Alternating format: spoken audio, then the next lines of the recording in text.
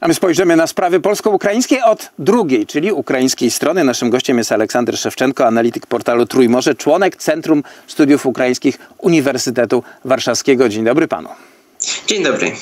No to przyjrzyjmy się, jakie są powody, dla, którego, dla których Wołodymyr Zeleński, prezydent Ukrainy, e, wprowadził, wniósł pod obrady Rady Najwyższej tą ustawę o szczególnych e, uprawnieniach, czy o szczególnym stanowisku Polaków na Ukrainie. Jako obywatele Polski mamy mieć tam dostęp do służby zdrowia, do zameldowania, do edukacji, wreszcie do pracy i wolność zakładania firm.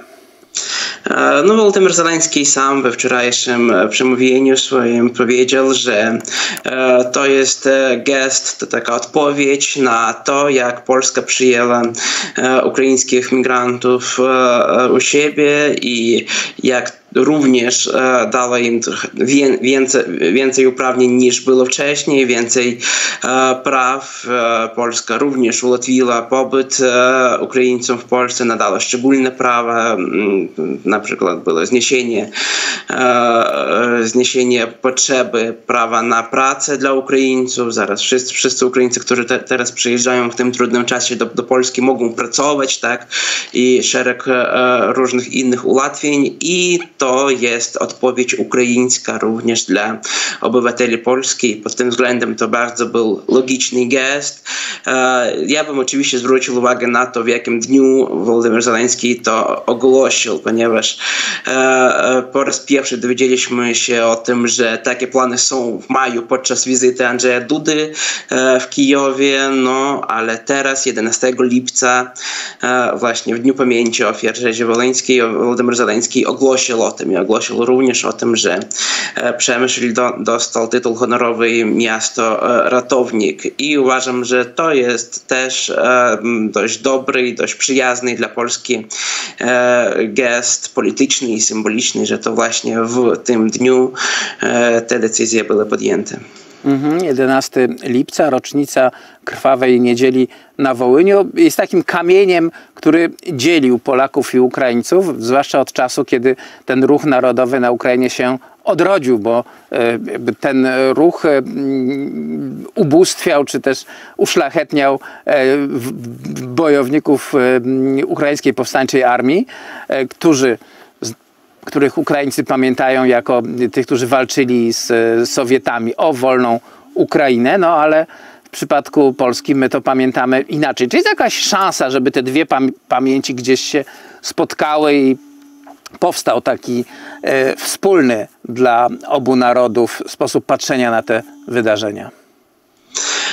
Uważam, że jest, uważam, że jest, tym bardziej już w tych czasach, w których zaraz żyjemy i biorąc pod uwagę tą właśnie to zbliżenie duże polskiego i ukraińskiego narodu i te tendencje do poszukiwania jak, jakichś wspólnych mianowników i wspólnego języka również w tej kwestii.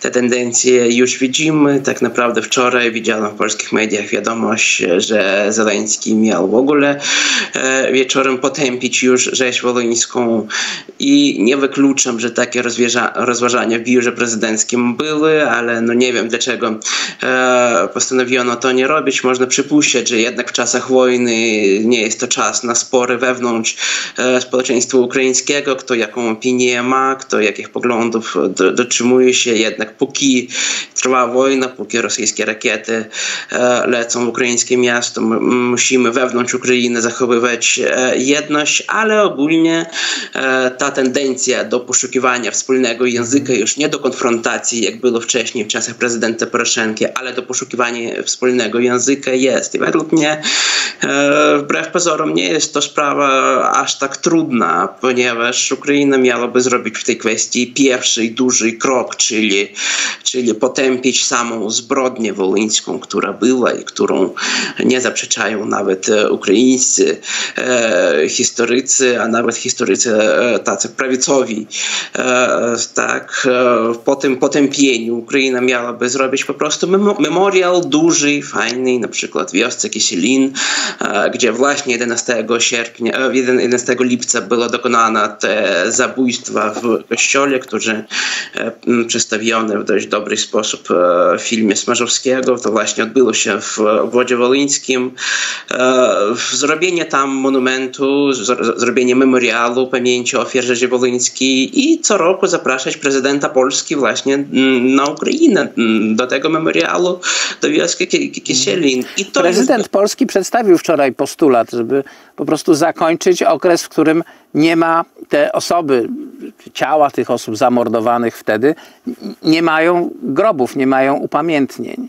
I jesteśmy w stanie no, na podstawie dotychczasowych prac Instytutu Pamięci Narodowej, poszukiwania żołnierzy wyklętych po zupełnie dziwnych miejscach, gdzie komuniści ich chowali, powtórzyć taką akcję na terenie Ukrainy, zidentyfikować te szczątki, wzory genetyczne, dojść do tego, kto jest kto i po prostu no, taki pomnik z nazwiskami postawić. Wydaje się to program minimum dla państwa chrześcijańskiego.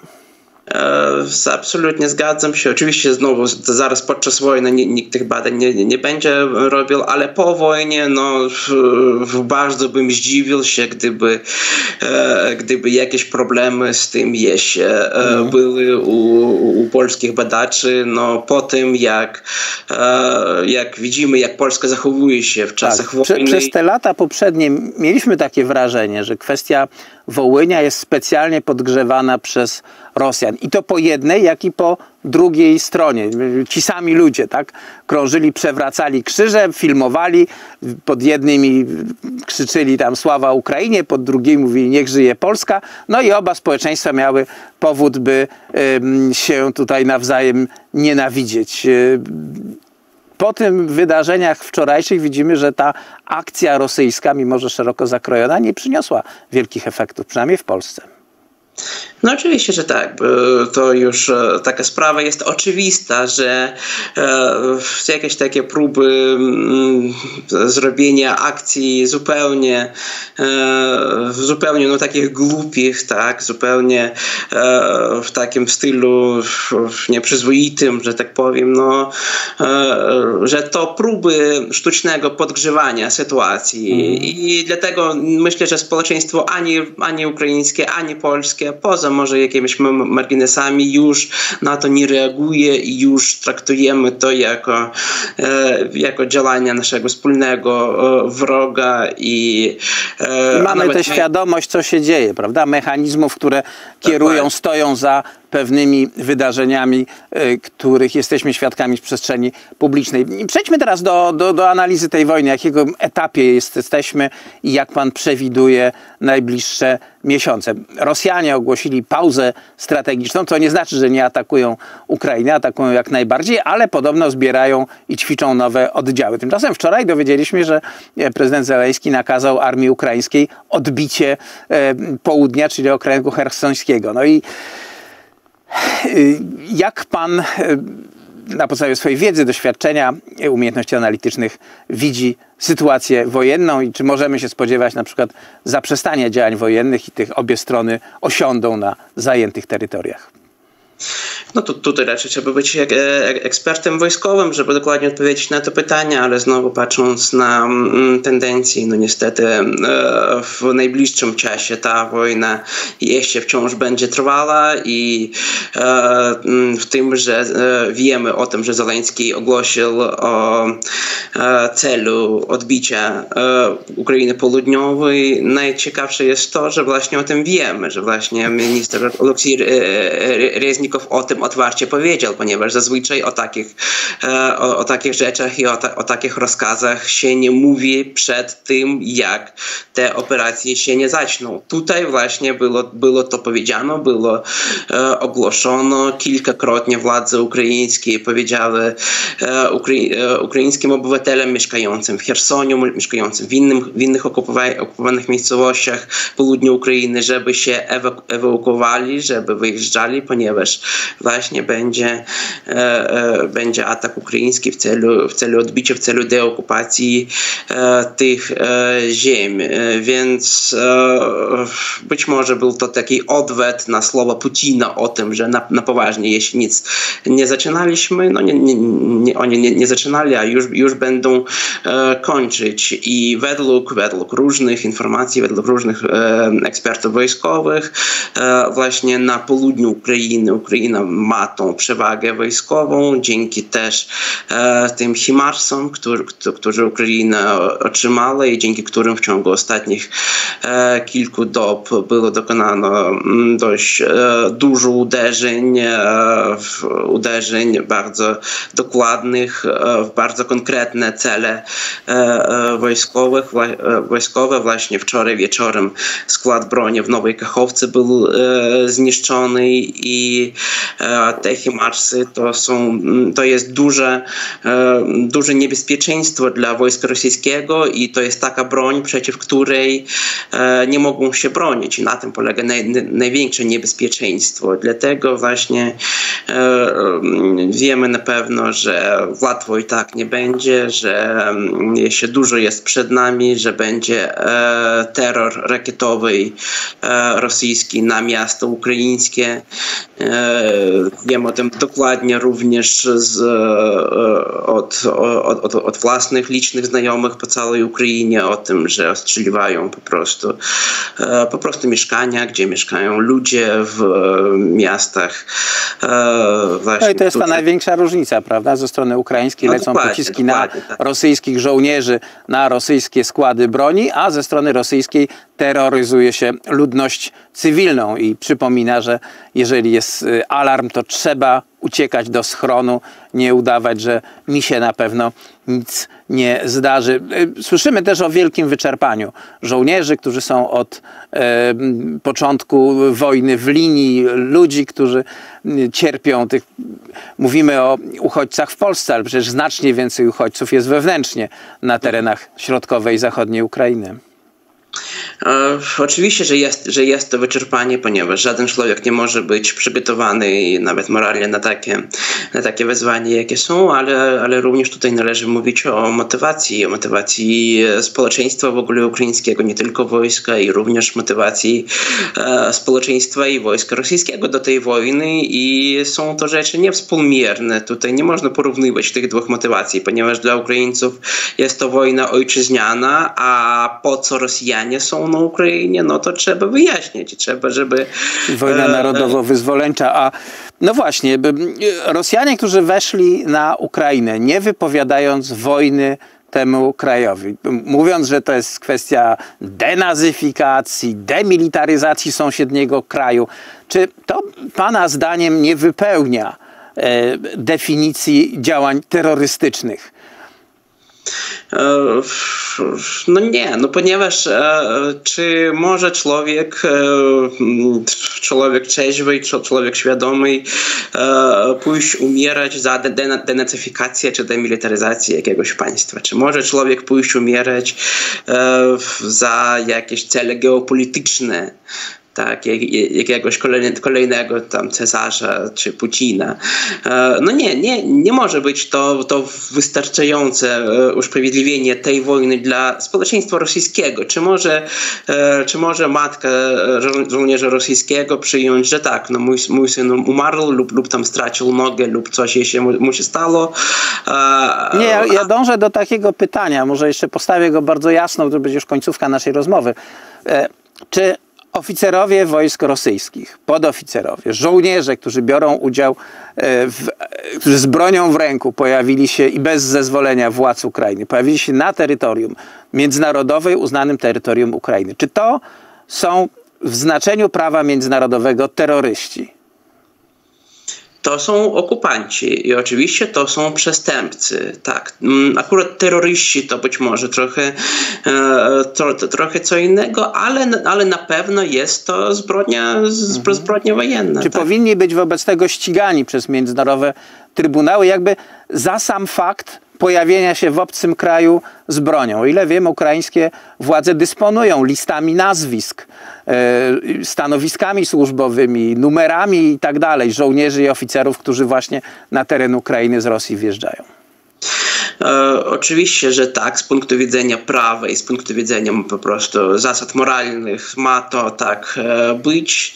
Z punktu widzenia natomiast realpolitik, czy dojdzie do tego naprawdę, no, trudno o tym, o tym na razie mówić, póki nie wiemy e, w jaki sposób skończy się ta wojna, no ale żeby, żeby wszyscy przestępcy stali przed sądem, no to e, wojsko ukraińskie miałoby wejść do Moskwy, a, te, a, a, tego, a tego raczej nie będzie. Ale można by zapowiedzieć wszystkim Rosjanom, którzy zapisują się do rosyjskiego wojska, że będą na międzynarodowych listach terrorystów. I w momencie, w którym przekroczą granicę y, swojej ojczyzny, będą ukarani z, same, z samego faktu uczestniczenia w działalności i operacji terrorystycznej. I to by było tak, to, to, e, to by było dość realne i dość dobre e, rozwiązanie. Mam nadzieję, że żadnych dyskusji a, a, a propos takiego rozwiązania w państwach europejskich. No pamiętamy, że po, po II wojnie światowej Niemcy tłumaczyli się, że oni wykonywali rozkazy, no i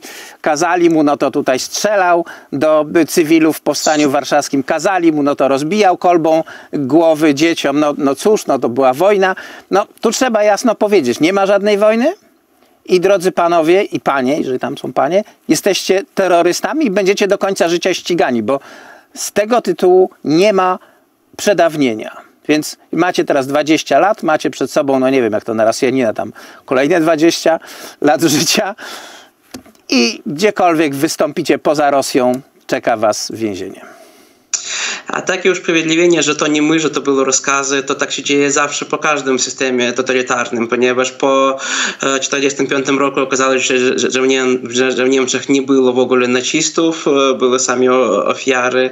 Po roku 91 w wielu państwach okazało się, że w ogóle nie było komunistów, a również byli ludzie zmuszeni do czegoś, a e, to te władze były winne. I tak samo będzie w Rosji, no bo okaże się, że wszyscy, kto, kto, są, kto są w partii Jedyne Rosja byli zmuszeni do tego. Okaże się, że e, nikt nie chciał tej wojny, okaże się, że nikt nie chciał w ogóle walczyć i okaże się, że nikt nie chciał puszczać rakiety, które teraz lecą.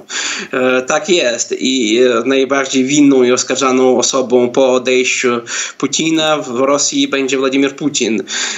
To niestety tak się dzieje historycznie zawsze, ale właśnie jednak ta odpowiedzialność ma być, nie uważam, że na całym społeczeństwie, ale przynajmniej na tych bezpośrednio, kto e, uczestniczy tej, w tej zbrodniczej wojny i kto puszcza rakiety na miasta i od rąk których umierają, umierają ludzie na Ukrainie.